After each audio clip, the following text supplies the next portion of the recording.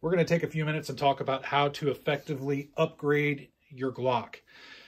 This isn't going to be for hobbyists. This isn't a video meant for the folks that want to throw the stippling on and the different slide cuts and red dots and all the cool stuff that you can throw on a Glock.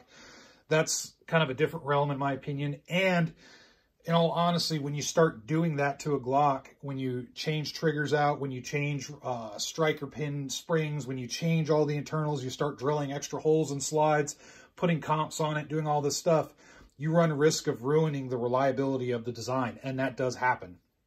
Uh, there's a lot of people that have shown that, hey, I got all this Gucci gear on my Glock, and then they go out and run it and go, well, I could only run this type of ammo through it now because it's finicky with other stuff. So why would you want to do that if you're wanting to get a Glock for real self-defense uses? Number one, the number one important thing before you get anything else is training. Train with the gun. That's the biggest upgrade, and it's more of a software upgrade, not a hardware upgrade. Get out and train with the gun. Practice good techniques, practice good fundamentals, and you'll realize that the Glock shoots extremely flat. You don't need a compensator. You don't need all this other stuff. You could just shoot the gun uh, and it's not costing you any money unless you spend, of course, some money for some professional training. If you choose to go other routes like online or whatnot, that's all on you. Um, just make sure it's good quality training and you do your reps, do your reps correctly, do them slow, learn the techniques, and you'll be fine. So with that out of the way, let's go with the actual hardware updates. So the first thing is going to be a light. You need a light that's mandatory. If you're going to use this for duty use, if you're going to use it for home defense, get a good light. And I'm not talking about any light out there. I'm talking about a good light. Two brands that come to mind is Streamlight and Surefire. Those brands have proven themselves. There's other brands out there that are good, like Inforce. There's Nightstick Lighting, which has some good budget uh, uh, uh, lights, rather. And Olight has a few. Now, I'm not a big fan of Olight but they do have a few that seem to work pretty decent for basic self-defense uses, and they seem to hold up decently. But buyer, beware, beware on that stuff. There are some issues with Olight. Uh, nightstick lighting, I've had them for a while, and they're pretty good. They hold up pretty good. But I got to be honest, in the end, when I'm looking at all the lights, when I'm looking at the prices between companies like Nightstick Lighting versus Olight versus Streamlight, I'm going to go Streamlight every time. It's just a, a heavier design, a more well-proven design. I have Streamlights on a lot of my stuff. Um, I have used Surefire in the past. I'm thinking about getting a Surefire, another like an X300 or whatnot at some point. But those are kind of, they're expensive. So it depends on what your budget is. Uh, for a budget price light, I'm going to go with Streamlight every time. But again, make sure you have a good light on the gun. Uh, the next thing, magazine upgrades as far as capacity goes. If you want to change the standard capacity of your magazine, uh, it's a good idea to do so, especially if you're in a duty or a home defense type role is what you're wanting to get this gun for, uh, where an, a, uh, a bigger magazine is not going to be a big deal. In the carry conceal role, it could be, so buyer beware on that. But uh, you want to have a balance of ergonomics, in handling versus capacity. Like, for example, I can certainly take a Glock 33 rounder and put this in the gun, no problem. And that's not a bad option at all. You can run a 33 rounder. It's straight from the Glock factory. You can buy them. They're well, they're, they're, they're well made, good quality. And it's certainly the easiest way to do things. You just bang, buy it, throw it in, and there you go. Uh, the standard magazines from Glock are good as well, depending on the Glock model you have and what capacity you're looking to have as far as a standard, you know, a standard. Uh, I come at it with the mindset, this gun is set up more for like a home defense or a duty type use. So in the home defense realm, I want as many rounds on the gun as I can without sacrificing the handling. Uh, a full 33 rounder does change the feel of the gun in my hand a little bit because you got a lot of bullets uh, coming out of that magwell and it's longer. There's a lot of weight to it. It changes a little bit, not a lot, but it changes a little bit. I prefer to go this route. It's less ammo, but I still have a good amount where I can pick this gun up in a nightstand if I want to and get going with it. And I still have a good amount of ammunition because the reality is for home defense, you're going to explore. If you need to leave your room and you need to go explore things for whatever reason, you're going to have the gun and whatever is on the gun as far as ammunition, that's what you get. So think about that when you're thinking about magazine extensions. Along with that, magazine extensions right here, extended base plates, all that good stuff Make sure they're good quality. Uh, this one's Strike Industries. is pretty good quality. There's a lot of manufacturers out there, so do your research. Also, if you're going to change the base plate, uh, you need to change the spring. Don't just stick with the factory spring. It can work, but you want to get an extra power spring in there so that way you get good compression, good feeding, all that good stuff. So after that, what else?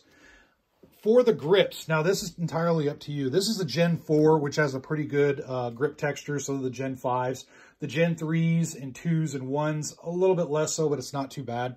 Um, changing the, the texture of the grip with a wraparound like this Talon right here. This is what I recommend. The reason I recommend this over doing stippling is you're not changing the gun permanently at all. This stuff works really well. You apply it correctly. It's solid. It'll last for years. When it starts to wear off, you peel it off. It's no residue pretty much, except for little minute pieces of glue that you can just kind of peel right off. Uh, and you can throw another one on, or if you just decide that you don't want to use it anymore, you can peel it right off. So I really like that. I have that on a lot of my guns. I like the sandpaper type grip. They also have the rubberized, but I really like the sandpaper type just because it locks the gun in my hand. Now, if you want to do stippling, sure, go ahead. Just know that you're changing the gun permanently, so to speak. So uh, if you stipple it, make sure it's a really good job. But I think that helps with the grip because it really locks the gun in your hand.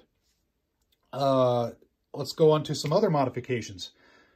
There is none. Pretty simple, right? I didn't do anything to the internals. Um, you can change the sights if you so choose. I still have the Glock night sights. They work good for me, but you can change them.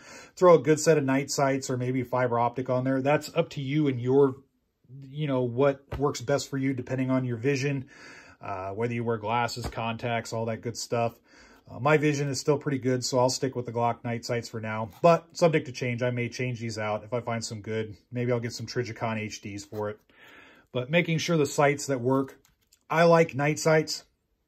You don't necessarily need night sights, but I do like the idea of having night sights. That's just me. But there's no modifications. I didn't make any modifications to the slide. Uh, I should say internally, that is. There's no modifications to the trigger. None of that stuff. No spring modifications, no recoil, guide rod modifications, none of that. Why? Because the gun works just fine. Uh, you have to be careful with when you're buying a gun like a Glock. They've built their reputation on their design and a lot of it to really good marketing. So when you look at a Glock, uh, you know, it's one of those guns that you just associate, yeah, it's going to work. Well, if it works from the factory, why are you changing it? Because when you start changing it, you start changing how the design is and it can throw certain things off. So I would say that's why I said in the very beginning of this video, you want to train. Get out there and train with it. You'll realize that the gun shoots ultra flat. You don't need anything. You don't need anything at all. Um, you don't need to mess with the trigger. Yeah, there are better triggers out there, and I get it, but I have no problems with the standard trigger. I would venture if you're wanting to get a gun with a better trigger than the Glock, then don't get a Glock. For the same price, get something like this. This has a way better trigger than a Glock. Um, but in any case, this video is about how to upgrade your Glocks practically.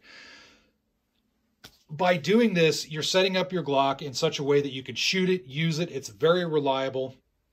Uh, you're not spending tons of money just working on the hardware problem, which lends more time and more money that you can focus on the software problem, which is you getting out there, training, buying ammunition, getting the dry fire in, all that good stuff, making yourself very good with the chosen tool.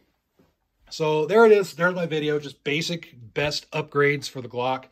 It's really simple. Some people might be mad thinking, hey, you're not talking about stuff. This is more of a philosophy video. Yeah, you're right. It kind of is.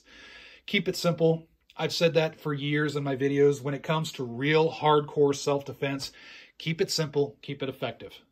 Um, if you don't believe me, just go on YouTube, look at a lot of people that have the Gucci Glocks, and some of them work really well. They manage to tune them just right, which they work really well, but there's thousands of dollars put into them. Uh, others, they work good, but then you'll notice, and they may not talk about it, but you'll see minor malfunctions in the videos. You'll see the, the, the changes in how the gun's working. Um, and I'm not going to bet my life on that. I, I, I, want a gun that just runs. So with that said, feel free to throw your comments in the comment section below as always, and I hope you're staying safe out there.